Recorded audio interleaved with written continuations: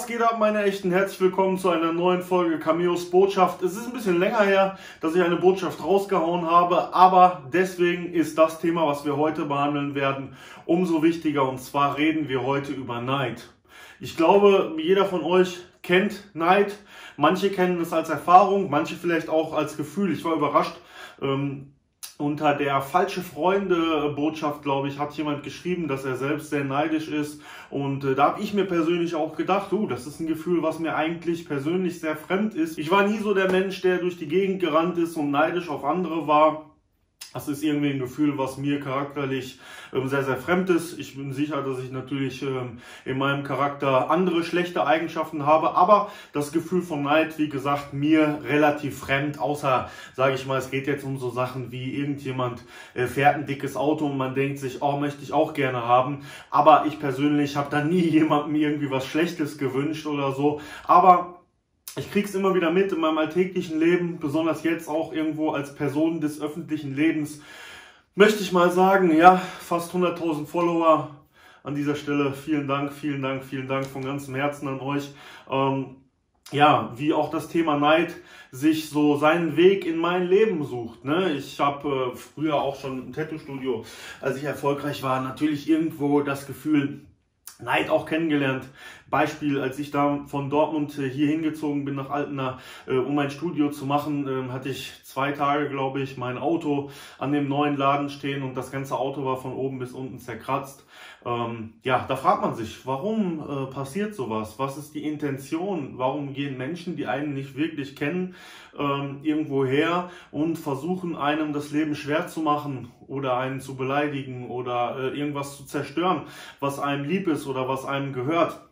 Und äh, wie gesagt, solche Dinge habe ich viel am eigenen Leib erfahren und vor allen Dingen, naja, in letzter Zeit äh, auch besonders häufig. Ich beschwere mich nicht. Ich glaube, ähm, man muss auch immer zu dem stehen, irgendwo was man macht und was man tut. Und äh, das tue ich. Ja, ich sitze hier, ich mache weiter. Ich habe gerade einen guten Freund gesehen, der äh, sich ein paar Tage bei Instagram angemeldet hatte und äh, ein bisschen was von seinem Erfolg, den er hat, gezeigt hat und äh, nach vier Tagen wieder genug hatte, weil die Leute schon wieder am Reden waren. Äh, der ein oder andere, für den ist das nichts und äh, ich wünsche mir auch manchmal, muss ich ganz ehrlich sagen, dass ich... Ähm, weiß ich nicht, irgendwo im Grünen stehen würde und äh, um mich herum nichts passieren würde. Aber ich habe auch manchmal, sage ich ganz ehrlich, so ein bisschen den Drang, auch mich zu teilen, meine Gedanken zu teilen, das, was ich mache, zu teilen, meine Geschichte zu teilen. Und das Ganze bringt halt dementsprechend diese Nebenwirkungen mit sich. Und ich habe für mich persönlich meistens die Stärke, das mitzunehmen ich glaube aber, dass es da draußen halt viele Leute gibt, die ähm, damit weniger gut zurechtkommen, vielleicht auch im kleineren Rahmen. Ihr müsst euch das so vorstellen, sage ich mal, bei so einer Reichweite, äh, wie ich die habe, ist das im Grunde genommen schon so, entweder du schaltest halt komplett ab oder ähm, keine Ahnung, du gehst auch vielleicht daran kaputt, ja. Also wenn ich mich hinsetzen würde und äh, alle Kommentare durchlesen würde oder auch auf das äh, irgendwie hören würde, was Leute so allgemein über mich erzählen, was sie über Bego erzählen, wie auch immer, äh, dass wir arrogant geworden sind, dass wir abgehoben sind, ähm, was wir da nicht schon alles gehört haben und äh, wir persönlich fragen uns immer wieder so, hör mal, wir sind die gleichen Menschen, so, wie kann das sein? Ja, und äh, viele von euch da draußen, glaube ich, äh, kämpfen sehr, sehr intensiv mit diesen Geschichten, vielleicht auch sogar in einem anderen Rahmen als wir. Ähm, ich weiß, viele von meinen Kunden zum Beispiel auch, äh, die normal arbeiten gehen, haben allgemein im Arbeits- oder Kollegenkreis äh, viele Leute, die irgendwo neidisch sind und deswegen irgendwelche Sachen machen, irgendwelche Gerüchte in die Welt setzen, versuchen einem wirklich das Leben schwer zu machen. Und äh, ich möchte euch einfach aus meiner Erfahrung ein bisschen was mit auf den Weg geben, ähm, was man da vielleicht besser und einfacher machen kann, wie man einfacher damit umgehen kann und äh, ja, so, dass man es sich selber nicht so schwer macht und vor allen Dingen sich selbst in Gedanken nicht so viel da drin verliert und einem vielleicht auch ein bisschen mehr egal ist, äh, was andere Leute über einen sagen und wie man sich ein bisschen davon abschotten kann.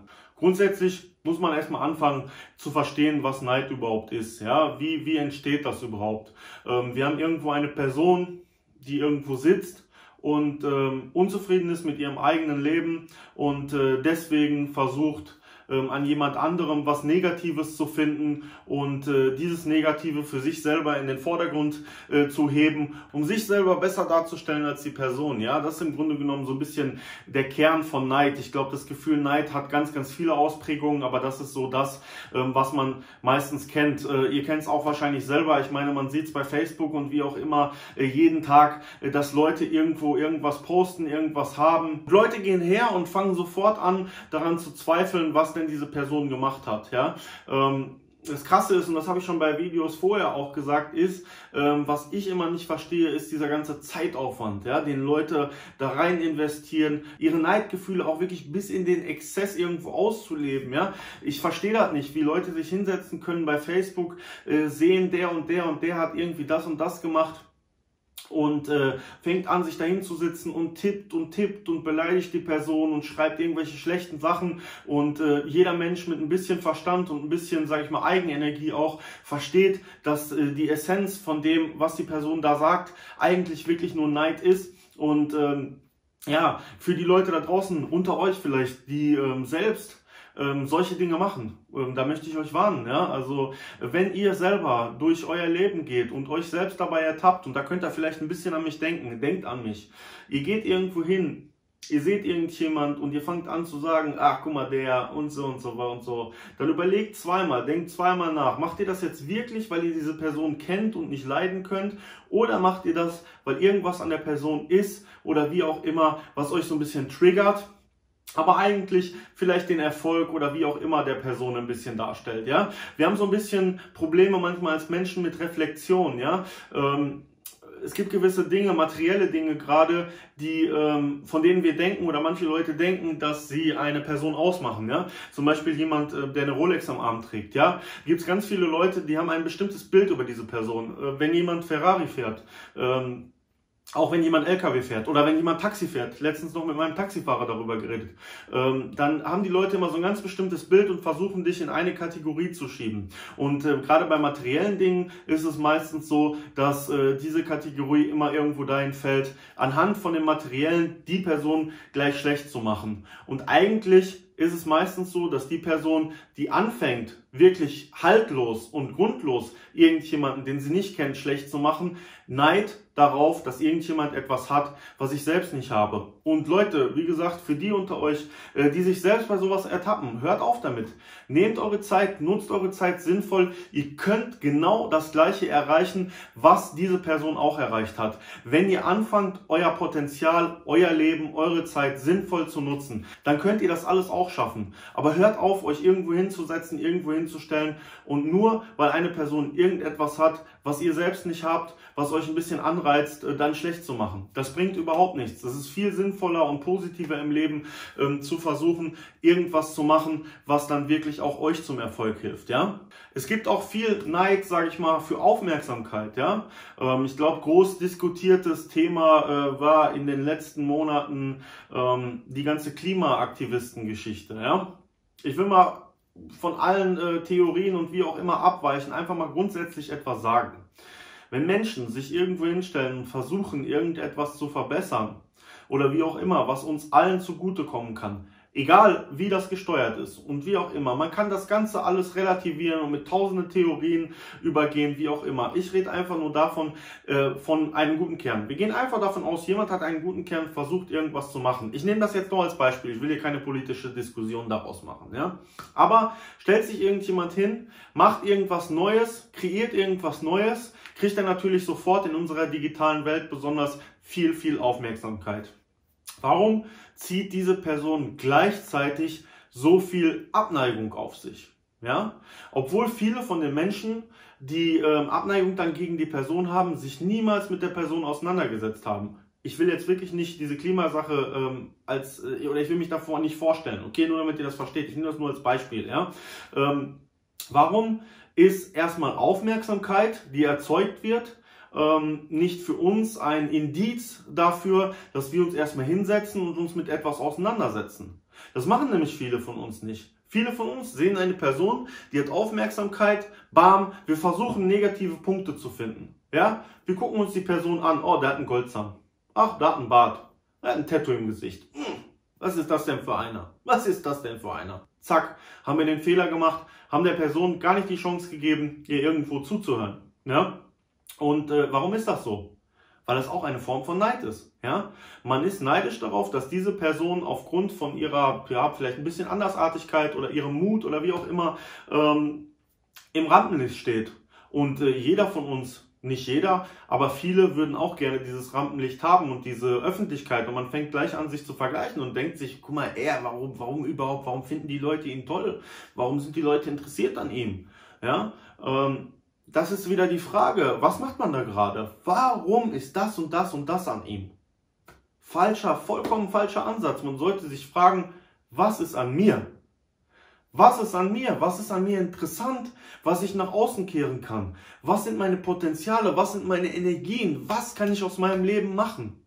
Und bam, man fängt an, sich auf sich selber zu konzentrieren und hört auf, Fehler an dem anderen zu suchen. Ja?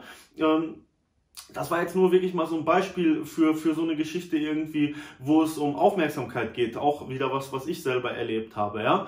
Ähm, wenn man gerne Aufmerksamkeit möchte für das, was man tut und das, was man macht, dann muss man immer selbst die Kraft entwickeln. Man muss die Kraft selbst entwickeln. Man braucht nicht irgendwo hingehen und irgendjemand anschreiben. Ich habe sowas früher selber gemacht, als ich jünger war und gewisse Ideen hatte. Klar, ich bin hingegangen, habe Leuten geschrieben, hey, könnt ihr mir helfen, könnt ihr das und das.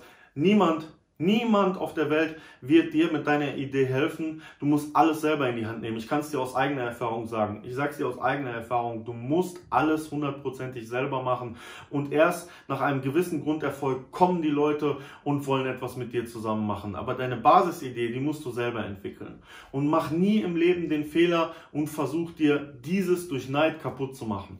Denn der ganze Neid wird dir so viel Energie und wie auch immer rauben, dass du das, was du eigentlich vorhast, nicht umsetzen kannst. Oder dass du schon gar nicht dahin gehen kannst, die Gedanken zu entwickeln, etwas Eigenes zu kreieren und umzusetzen. Für diejenigen unter euch, äh, die Opfer auch von Neid werden, ja, ich habe so ähm, gerade mal das ähm, Ding angesprochen, irgendwie mit zerkratztem Auto. Ich glaube, ich spreche jetzt äh, vielen Leuten, die da draußen zuschauen, irgendwo aus der Seele und äh, viele von euch werden es erlebt haben. Ja? Äh, so Auto zerkratzen ist ja wirklich so das Typischste. Ähm, meistens passiert sowas aus Neid. Manchmal passiert sowas auch irgendwo wegen Beziehungsgeschichten oder so. Klar, irgendjemand, der hat sich getrennt, zerkratzt das Auto oder irgendwas anderes ist vorgefallen. Aber oftmals ist es einfach auch so, ähm, dass man äh, sich was gegönnt hat, ein schönes Auto, man freut sich, man stellt es irgendwo hin, man kommt zurück. Kratzer. So. Ich bin inzwischen schon so abgehärtet, Leute. Als ich jetzt die neue X-Klasse hatte, nach zwei Tagen hier unten im Parkhaus, Alter, so ein langer Kratzer. Ich ich denke schon gar nicht mehr drüber nach. Ich reg mich auch nicht mehr auf. Ich gehe nicht mehr zum Smart Repair. Ich lasse einfach so. Aber ähm, ja, ich glaube, viele da draußen, denen es vielleicht das erste Mal passiert oder so, äh, die ärgert es unheimlich. Und dieser Ärger, dieser Ärger ist ja genau das, was die anderen Personen da mit uns machen wollen. Die wollen ja genau das. Du gehst bei Facebook rein, siehst irgendwie ein Video und schreibst deine Meinung dazu. Bam, unter diese Meinung kommen gleich fünf andere Kommentare und du könntest gleich 20 Minuten wieder damit verbringen, äh, zu diskutieren. Und all diese Menschen, die anfangen, diese kleinen Nadelstiche zu setzen, ja, diese kleinen Piekser, die erreichen genau das mit uns, was sie erreichen wollen. Und da musst du dich einfach fragen, du musst lernen, dich selber abzustoppen. Du musst lernen zu sagen, stopp. Was passiert jetzt gerade? Warum ist das so? Ist die Person vielleicht neidisch auf mich, auf das, was ich mache? Oder warum auch immer? Will ich jetzt wirklich dieses Gefühl von der Person auf mich übertragen und äh, diese Wut und das alles mit in meine Welt nehmen, in meine Beziehung, äh, wie auch immer? Nein, eigentlich nicht. Ich weiß, das ist das Schwerste, das zu tun. Ich rede auch gerade so, als würde ich das immer schaffen. Tue ich natürlich nicht, aber das ist die Wahrheit. Und vor allen Dingen ähm, das Wichtigste, was man tun sollte. Man muss immer überlegen, wo kommt der Neid her und was ist der Neid? Neid ist eine negative Empfindung, ein negativer Vibe. Willst du diesen Vibe in dein Leben mit reinnehmen? Nein. Also fang an zu stoppen. Wenn Leute Gerüchte verbreiten, weil sie irgendwo neidisch sind, Gerüchte sind das Schlimmste. So wirklich, ich, ich habe schon, ich hab schon von Sachen gehört, manchmal, ähm, da sind so schlimme Sachen in die Welt gesetzt worden, die wirklich auch Leben zerstören können. Ja, wirklich Leben zerstören. Und grundsätzlich gilt in Deutschland erstmal so die Unschuldsvermutung. Ne? Bis etwas nicht bewiesen ist, darf man niemanden verurteilen. Aber wir lieben es so sehr, wenn irgendjemand da oben ist, mit einer großen Säge zu kommen und diesen Stuhl anzusägen und wir wollen unbedingt die Person fallen sehen. Wir wollen unbedingt die Person fallen sehen. Und das passiert immer mit diesen ganzen Gerüchten und die meisten dieser Gerüchte entstehen immer aus Neid. Und dann gibt es noch mehr Leute, die diesen Topf mit Neid füllen und irgendwann ist der Topf so voll und die hoffen, dass die Person von oben nach da unten reinfällt. Wenn ihr Opfer von solchen Sachen seid, müsst ihr natürlich auch immer überlegen, wie weit geht das. Wenn das irgendwelche, sage ich mal, strafrechtlichen ähm, Ausmaße annimmt, äh, dann muss man sich auch nicht schämen, wenn man irgendwo, äh, sage ich mal, seine persönlichen Konsequenzen daraus zieht. Ähm, ob man da jetzt äh, selbst irgendwo, ähm, sage ich mal, Partei für sich selbst ergreift, ihr wisst, was ich meine, oder ob man sich irgendwo anders Hilfe holt, das kann jedem selbst überlassen sein. Ähm, aber grundsätzlich ähm, sollte man sich von sowas nicht unterkriegen lassen und vor allen Dingen nicht kaputt machen lassen. Ja? Egal, was Leute über euch sagen, ihr müsst euch eins merken. Ihr selber seid das Ich. Das, was ihr seid, euer Charakter. Und das, was außen herum ist, hat zwar etwas Einfluss auf euch, aber nicht mal vielleicht zu 5%. Denn ihr bestimmt ganz alleine, wer ihr seid, was ihr seid und was ihr macht. Selbst wenn Leute kommen und alten Müll von was weiß ich wann ausgraben und den versuchen euch aufs Brot zu schmieren. Verdammt nochmal, das ist Vergangenheit. Das kann man komplett vergessen. Das braucht man sich selbst nicht mehr anzulasten. Deswegen, falls ihr wirklich ähm, Opfer werdet von solchen Intrigen und sowas, versucht euch auf euch selbst zu konzentrieren. Eure eigene Kraft, das was ihr seid, auch euer gutes Herz ähm, vor Augen zu führen die Dinge, die ihr liebt, die ihr mögt, für wichtig zu halten und in eurem Leben sozusagen als das Wichtige auch rauszustellen. Und das, was Leute aus Neid oder Missgunst oder wie auch immer über euch erzählen, vollkommen von euch abprallen zu lassen. Denn wenn ihr wisst, wer ihr seid, wenn ihr mit euch im Reinen seid, dann könnt ihr das. Dann ist das ganz einfach. Ja? Wenn ihr aber anfangt, euch abhängig zu machen von dem, was andere sagen, von den Neidgefühlen von anderen, euch vielleicht auch zu verbiegen, dann seid ihr genau in der Falle drin und andere haben das mit euch erreicht, äh, was sie mit euch erreichen wollten. Es gibt so viele Beispiele im Grunde genommen in unserem alltäglichen Leben, die irgendwie Neid in sich tragen und äh, wo Neid der grundsätzliche Faktor für das ist, was da im Leben schiefläuft oder auch in der Gesellschaft schiefläuft. Ne? Weil ich glaube, ähm, so Neid ist eins von den Gefühlen, was so vielleicht 30 Prozent, will ich mal sagen, von den negativen Gefühlen, die man im Alltag erlebt, irgendwo ausmacht, ja. Egal, ob man durch die Stadt geht, ob man sich die Politik anguckt, ähm, ob man sich äh, erfolgreiche Leute, Entertainment, wie auch immer anguckt oder die normale Arbeit. Überall kommt immer wieder dieses Thema Neid auf. Und meine Konsequenz von diesem Video, beziehungsweise das, was ich euch sagen möchte, ist, dass wir alle versuchen, in unserem alltäglichen Leben uns selber davor zu warnen, wenn wir etwas aus Neid tun. Dass wir versuchen zu arbeiten an uns selber und auch an den anderen und ihnen versuchen zu verbieten, neidisch zu sein. Wenn wir merken, irgendjemand macht etwas mit neidischen Motiven, dann sollten wir hingehen und versuchen der Person zu sagen, hey, lass es sein. Weil äh, nur so haben wir die Chance auch wirklich, sage ich mal, unsere Umgebung zu verbessern, dass die Menschen, mit denen wir umgehen, das Klima, in dem wir leben, ja, das Klima allgemein, gesellschaftlich, wird immer härter. Brauche ich euch nichts vormachen, ihr wisst es selber. Ja, aber dagegen mit Neid und Missgunst anzugehen, ist der falsche Weg und ich erlebe es in Deutschland jeden Tag. Und Deutschland, ihr wisst es selber, ich glaube, jeder erfolgreiche Mensch sagt es und da haben sie leider alle recht. Deutschland ist eine Neidgesellschaft. Es ist nun mal leider so. Ja?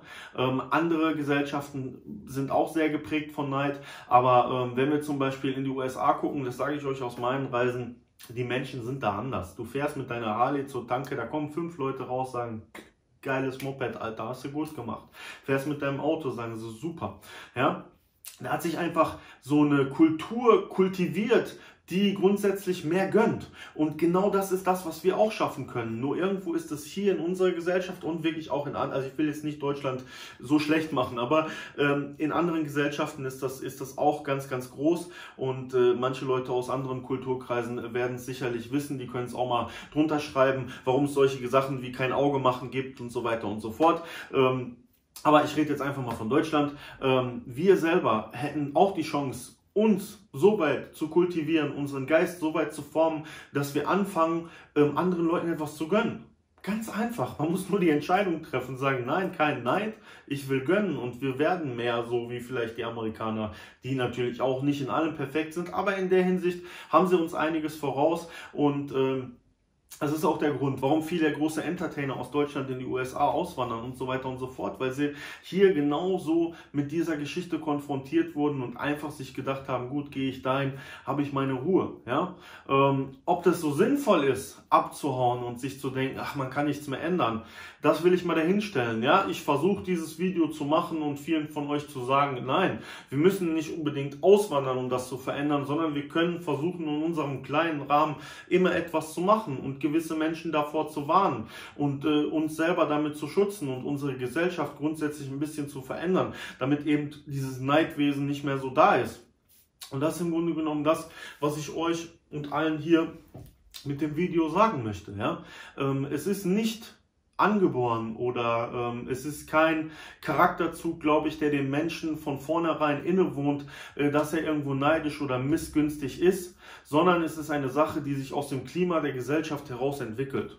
Und wir selber können alles steuern. Wir können die Gesellschaft verändern. Wir müssen es nur machen. Wir dürfen uns nicht anschließen. Und ich selber habe es mein Leben lang niemals gemacht. Ich war, glaube ich, einer der unangepasstesten Menschen, ähm, die es so in der Gesellschaft oder auch in meinem Umkreis gibt. Und deswegen bin ich tausendmal auf die Fresse geflogen aber trotzdem habe ich deswegen nicht unbedingt solche Gefühle wie Neid äh, in mir selber irgendwo für jemand anderen gespürt. Und äh, da muss jeder von uns auch ein bisschen selbst den Mut äh, zur Individualität, zur Unabhängigkeit und zu entwickeln und sich nicht wie ein Schaf äh, der Herde äh, folgen um dann eben äh, die gleichen Gefühle und so weiter und so fort in die Welt zu tragen, wie das die anderen Schafe in der Herde machen, ja? Deswegen, Leute, für euch alle da draußen, wenn ihr Opfer von Neid, Missgunst, wie auch immer werdet, dann fangt an, euch zu wehren, aber wehrt euch vernünftig. Ja, wehrt euch nicht mit äh, Gewalt oder wie auch immer, sondern wehrt euch mit eurer eigenen inneren Stärke und versucht euch das Positive in euch selber äh, vor Augen zu führen und das als Kraft mit auf den Weg zu nehmen. Ja, wenn ihr selber Neidgefühle habt, dann hört einfach auf damit. Es wird euch nichts bringen. Entwickelt eure eigenen Potenziale, geht damit raus und macht etwas Besseres aus eurem Leben. Und wie gesagt, nochmal, für die gesamte Gesellschaft und alle da draußen. Wir haben alle Möglichkeiten, alles zu bestimmen. Heute ist ein Tag, morgen ist ein neuer Tag. Was heute war, ist morgen schon die Vergangenheit. Wir können alles verändern. Und wenn wir das zusammen gut und vernünftig machen, dann können wir das schaffen, ja? Das war's an dieser Stelle, Leute, zum Thema Neid. Ich wollte in dieser Woche speziell darauf eingehen, weil mich das Thema wieder auch sehr beschäftigt hat. Ich hatte auch kurz mit Bego wieder darüber gesprochen. Und ähm, ja, Leute, ihr wisst Bescheid. Wir sind immer noch auf dem Weg zu den 100k. Die sind bald erreicht. Ich danke euch von ganzem Herzen für den Support. Abonniert mich bei Facebook, folgt mir bei Instagram, Max Cameo. Ihr wisst Bescheid. Meine Echten, ihr seid die Besten. Max Cameo, ich bin draußen. Lasst es euch gut gehen. Und vor allen Dingen bleibt sauber. Peace.